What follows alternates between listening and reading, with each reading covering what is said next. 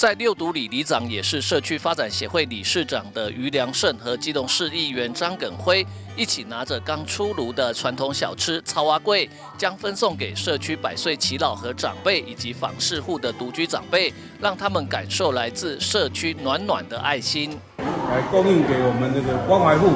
那尤其啊难能可贵，这次我们余里长上任以后就扩大来举办这个活动。尤其结合我们的社区的一些里民，一起共同的来参与，也回味以前我们所谓的啊啊清明节我们要准备的一些用品，就是我们的菜花给。